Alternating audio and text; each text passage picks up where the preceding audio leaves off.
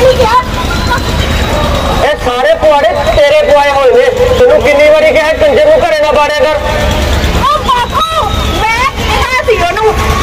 ਕੀ ਕਿਹਾ ਸੀ? ਓ ਬਾਪੂ ਨੇ ਕਿਹਾ ਸੀ। ਉਹ ਕੀ ਕਿਹਾ ਸੀ? ਓ ਬਾਪੂ ਨੇ ਇਹ ਕਿਹਾ ਸੀ ਇਹ ਕੁੱਤੇ ਦਾ ਪੁੱਤ ਨਾ ਕਰੀ ਅੱਛਾ।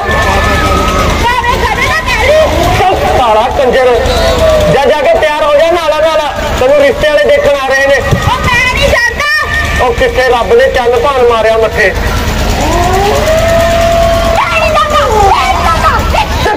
ਸਾਲਾ ਉਹ ਨਾਲਾ ਨਾਲਾ ਕੰਜਰਾ ਤੂੰ ਨਹਾਉਣਾ ਨਾ 2 ਮਹੀਨੇ ਬਾਅਦ ਮੈਨੂੰ ਗਵਾਂਢੀ ਕਹਿੰਦੇ ਨੇ ਤੁਹਾਡੀ ਨਾਲੀ ਤੋਂ ਕਾਲਾ ਪਾਣੀ ਕਿੱਥੋਂ ਆਉਂਦਾ ਸੀ? ਭਾਈ ਜੇ ਦਿਖਦਾ ਹੁੰਦਾ ਤਾਂ ਮੈਂ ਆਪਣੀ ਕੁੜੀ ਦਾ ਵਿਆਹ ਛੋਟੀ ਮੋਟੀ ਨਾਲ ਥੋੜੀ ਕਰਨਾ ਸੀ। ਉਹ ਲੱਗਦਾ ਰਿਸ਼ਤੇ ਵਾਲੇ ਨੇ। ਉਹ ਆਓ ਜੀ ਆਓ ਗਲੇ ਮਿਲੋ ਗਲੇ ਮਿਲੋ ਉਹ ਇੱਧਰ ਮਾਰੇ ਇੱਧਰ ਇੱਧਰ ਆਓ ਜੀ ਆਓ ਬੈਠੋ ਬੈਠੋ ਬੈਠੋ ਬੈਠੋ ਸੁਰਿੰਦਰ ਕੋਲੇ ਜਾ ਚਾਹ ਲੈ ਕੇ ਆ ਨਾਲੇ ਗੱਲ ਸੁਣ ਸਵੇਰ ਵਾਲੀ ਲੈ ਕੇ ਆਈ ਕਿੰਨੀ ਬੜੀ ਮਹਿੰਗੀ ਹੋ ਗਈ। ਤਾਂ ਮੈਂ ਕਿ ਕੁਝ ਕਿਹਾ ਜੀ। ਉਹ ਨਹੀਂ ਜੀ ਨਹੀਂ ਮੈਂ ਤਾਂ ਕਿਹਾ ਮਿੱਠਾ ਠੋਕ ਕੇ ਭਾਈ ਹੋ ਅੱਛਾ ਜੀ ਅੱਛਾ। ਮੈਂ ਕਿਹਾ ਜੀ ਇੱਕ ਗੱਲ ਕਹਾਂ। ਹਾਂਜੀ ਬੋਲੋ। ਆਹ ਆ ਤੁਹਾਡਾ ਘਰ ਬੜਾ ਸੋਹਣਾ ਹੈ ਜੀ। ਤੁਹਾਨੂੰ ਦਿਸਦਾ? ਉਹ ਨਹੀਂ ਜੀ ਨਹੀਂ। ਉਹ ਸੁੱਕ ਕੇ ਪਤਾ ਚੱਲਿਆ ਤੁਹਾਡਾ ਘਰ ਕਿੰਨਾ ਸੋਹਣਾ ਹੈ। ਪੱਥਰ ਤੋਂ ਤਾਂ ਸਾਲਾ ਨਹੀਂ ਆ। ਸੁੰਗਣੀ ਵੀ ਕੁੱਤੇ ਵਾਲੀ ਆ। ਮੈਂ ਕਿਹਾ ਕੁਝ ਕਿਹਾ ਜੀ ਔਰ ਮੇਰੀ ਜੀ ਨਹੀਂ ਮੈਂ ਤਾਂ ਕਿਹਾ ਕੁੱਤਾ ਬੰਨ ਕੇ ਰੱਖਿਓ।